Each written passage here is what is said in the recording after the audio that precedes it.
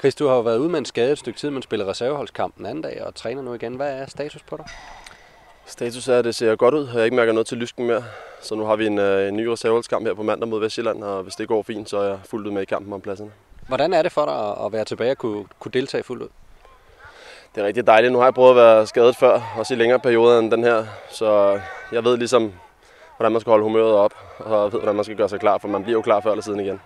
Og som du siger, så skal du ind i kampen om, om pladserne igen. Hvad, hvad kan man gøre der for ligesom at, at, at spille sig ind i varmen igen? Jo, altså det er jo ikke kun op til en selv. Det skal også være træneren, der ser ens vej, men øh, hvis man kæmper til træning og laver lidt ekstra træning, så man bliver bedre på de ting, man nogle gange har lidt mangler ved, så er jeg sikker på, at det nok skal gå. Og du føler stadig, at du, øh, du kan være fuldt ud med i den kamp? Det føler jeg bestemt. Vi skal jo holde nullet før eller siden. Programmet præsenteres af Unibet, sportsbetting på mobilen.